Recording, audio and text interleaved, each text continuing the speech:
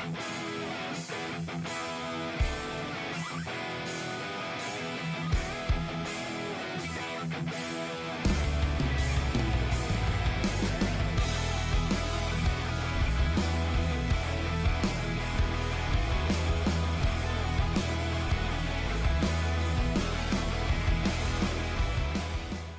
Welcome to Redbeard Entertainment. My name is BMAC, and it's Mariner Monday. This is a day when we're going to be working on our Seattle Mariners franchise on Legend.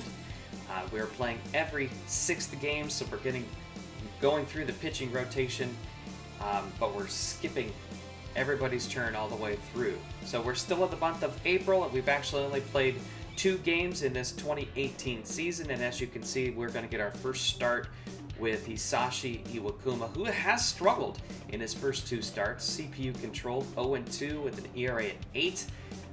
The calendar for the month of April, the Mariners are on a three-game losing streak.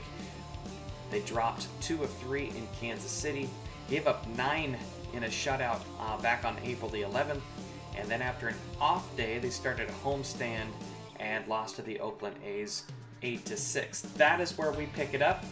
Hisashi Iwakuma is uh, a longtime Mariner. However, just last week in real life, um, Seattle announced that his tenure with the club is over as uh, he's been recovering from shoulder surgery toward the end of last season. And uh, Iwakuma has plans to pitch in Japan in real life in 2019. So he didn't pitch for the Mariners at all in 2018. It's a little bit of a stretch for me then to have him uh, in the starting rotation but he outperformed others during spring training when we simulated through uh, spring training. So that's why we've got Iwakuma in the rotation, and let's see how he performs against Oakland here.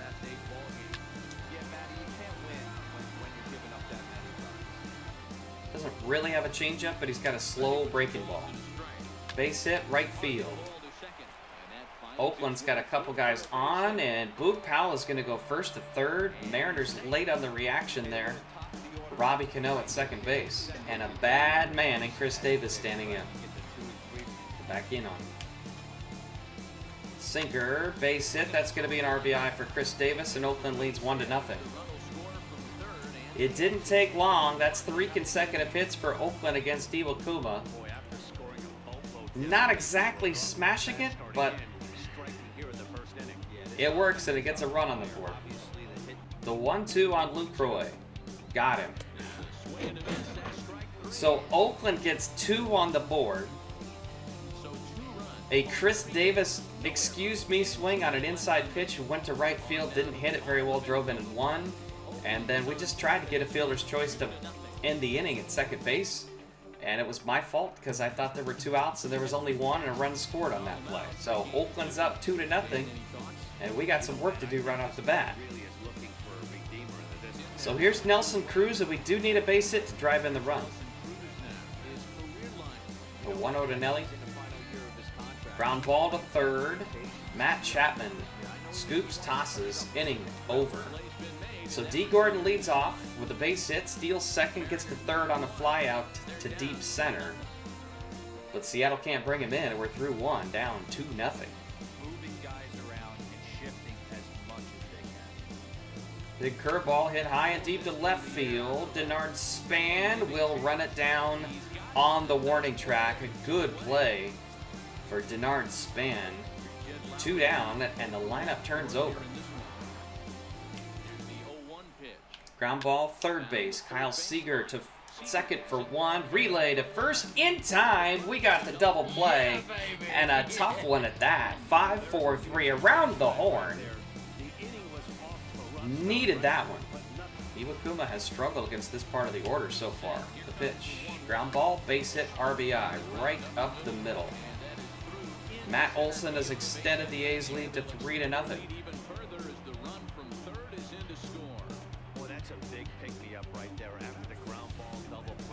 It looked like Iwakuma might be able to get off the hook after the back-to-back -back singles to start the inning. PCI's not on the baseball, but Oakland just continues to be my nemesis. Ground ball, base hit through the left side.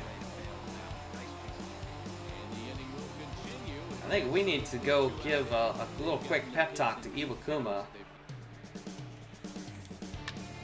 Hit hard right to first base. The ball's hit harder than any of Oakland's seven hits, but Houston's 14 and 1 to lead the West, followed by Oakland and Seattle, and then the Angels in Texas. Mike Zunino standing up. Six game hitting streak. Fantastic. I've always hit well with the Zunino card, even if the PCI is uh, fairly small. I don't know why. High fly ball belted deep left center field, and that ball is gone. Mike Zunino with his fifth home run of the year. Make that hitting streak seven games. Seattle on the board. It is 3 1. 0 2 to Jed Lowrie. Got him. Struck him out on a sinker that came back across the inside corner. The pitch. Curveball hit to second. Robbie Cano will throw him out. So Iwakuma finally gets a zero up on the board here in the fourth. Eight total hits through four innings. Three runs for Oakland. They lead 3 1. The 0 2 pitch to Matt Olson. Strike three called. Got him. Olson apparently didn't like it. The 0-2 once again to Matt Joyce. Swing and a miss. He struck him out. Iwakuma back-to-back strikeouts. He is through five tough, tough innings. He's given up three and nine hits, but it could be worse. Going to the bottom of the fifth. Mariners need a rally. Probably the final inning for Hisashi Iwakuma here, trailing 3 to 1. The pitch. High curveball, hit high and deep to left center field, not able to get it Dee Gordon. And that will be a double for Marcus Semien. believe that is the first extra base hit of the game for Oakland. That one was stung on a curveball that was left way up in the zone. So Iwakuma goes five and a third. He's still responsible for the man at second base. That is Marcus Semien, the pitch. Fly ball, shallow left. Does Span have a play? He does bring it back. Nice play for Denard Span. Two down, and Phelps one out away from stranding that runner at second. Segura having a decent at bat here. And it hit him. On 2-2, it hit him with a fastball, got away from Edwin Jackson, and the Mariners have the tying run coming to the plate with the middle of the order due up. Cano hits a high pop-up right field. And that is the second out of the inning. Fly ball right field, but Piscotty hardly has to move, and the inning is over. Threatened a couple of times, but still only have just the three hits and one run. We're going to the seventh. It's getting late. Oakland leads 3-1. That one's in the gap, and it's going to be trouble. Base hit Semien's second double to the ball game. He's going to go for three. The throw to third is not in time. It is an RBI triple for Marcus Semien. And the Athletics lead this one 4 to 1.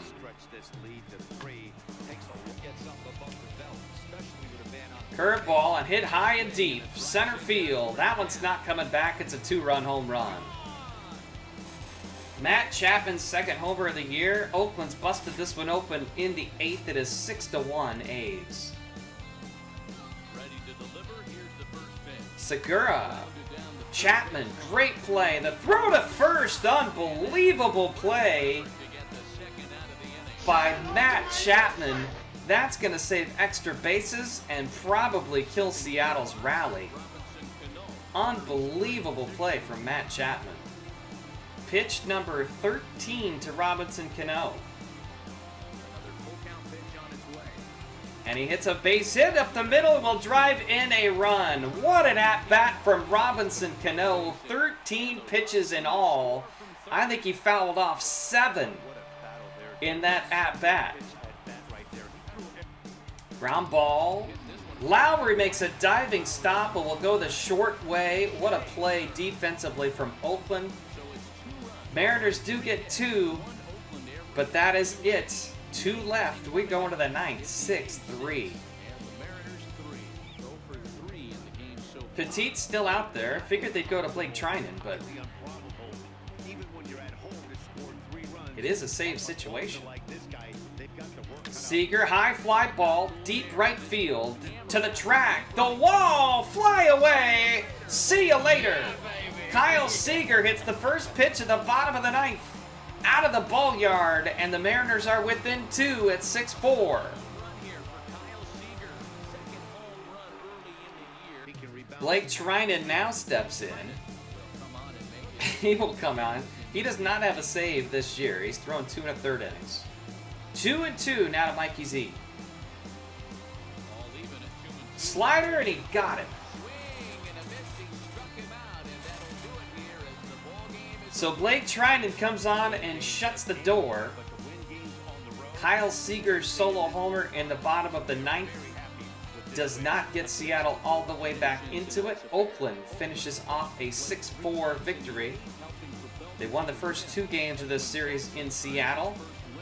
So we're working through simulating to our next game, and unfortunately we suffer our first major injury of the season. Uh, Cameron Maybin fractured his shin during the game, and he's going to be out for one to two months. So unfortunately we're going to have to put him on the disabled list. One to two months, we could put him on the 60-day DL if he's out for two months total, but um, I think we're going to put him on the 10-day DL, and then we're going to have to make a roster move. Our roster move corresponding to Cameron Maybin's fractured shin is to recall Guillermo Heredia to the major leagues. We're uh, going to have to make some lineup changes and things like that. Uh, but Heredia is going to be at the major league level. We'll have to make a corresponding move to bring somebody probably from AA to AAA and then fill out the AA roster as well.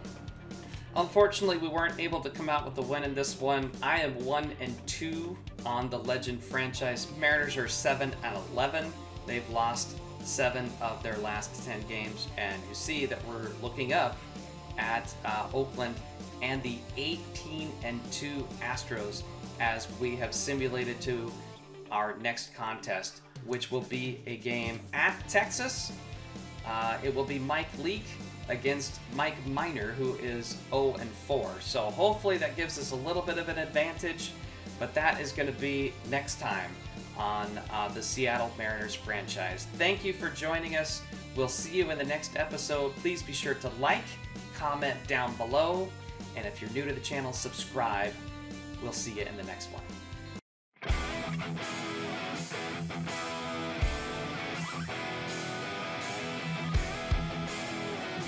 Ball game!